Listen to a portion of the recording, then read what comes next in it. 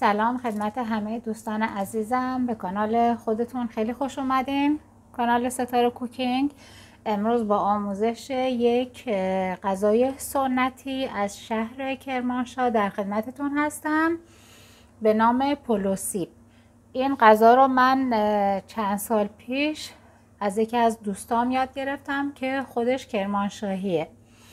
امروز گفتم که اینو باتون به اشتراک بذارم.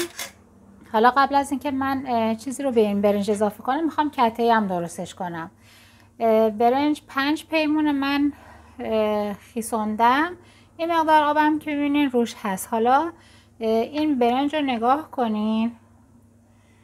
این من از دو نمونه برنج استفاده کردم. امروز گفتم که اینو هم تجربه که دارم و باهاتون به اشتراک بذارم. برنجای هندی خیلی عطر و طعم خوبی ندارن. در عوض برنجای ایرانی و محلی عطر و طعم خوبی دارن اما به قول خودمون ری ندارن یعنی خیر و برکت ندارن زیاد نمیشه موقع پختن. و من برای همین میام این دو برنج رو مخلوط می‌کنم. الان این پنج پیمون برنجی که دارم سه پیمونش برنج هندیه. دو پیمونش برنج ایرانیه. وقتی که اینا با هم دیگه مخلوط میشن عطر و طعم خوبی پیدا می‌کنه برنجمون و اینجوری هم نیست که بگین حالا یکیش میپزه یکیش بقولن از بین میره نه. چیز مناسبی در میاد امتحان کنید خب اینجا من به برنجم یه مقدار نمک اضافه می‌کنم. و یه مقدارم سیب زمینی به این شکل پوست گرفتم تیکه کردم. اینم اضافه می‌کنم. اون موقع که من از همسایمون اینو شنیدم فکر کردم که سیب درختی رو درست می‌کنه با برنج. بعد گفت که نه سیب زمینیه. خب اینم از این. مقدار من روغن جامد اضافه می‌کنم.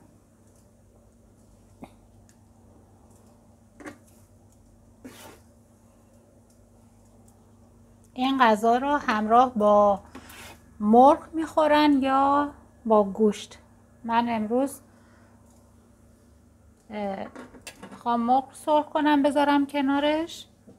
جای همه تونم خالی.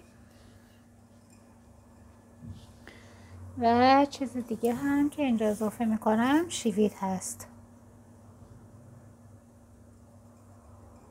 من از شیوید خشک استفاده می‌کنم. می‌تونین از شیوید تازه هم استفاده کنید.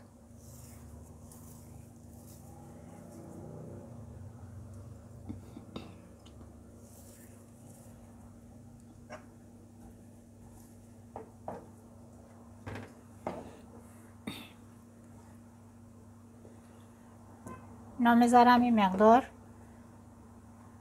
به جوش بیاد.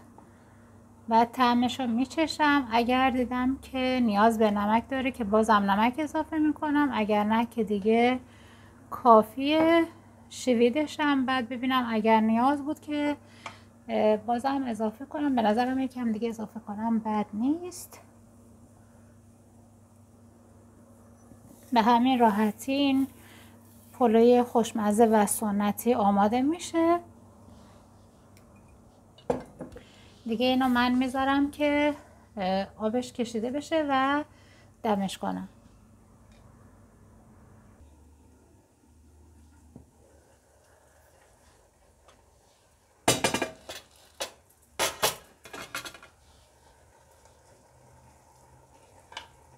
خب می‌بینیم که آبش داره کشیده میشه.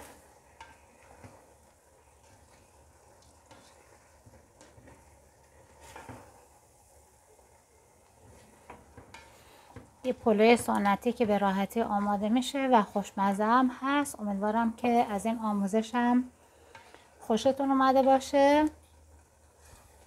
و با لایک و کامنتاتون از من حمایت کنید. دیگه نمی‌دونم چی بگم. سعی می‌کنم که یه چند تا غذای اصفهانی هم هست غذا و دسر. اونا هم چیزای خوشمزه هستن. اونا رو هم تهیه کنم و توی کانال قرار بدم. به زودی. خب عزیزان دیگه این وقتشه که من برنج رو به سمت وسط قابلم هدایت کنم و بذارم که دم بکشه.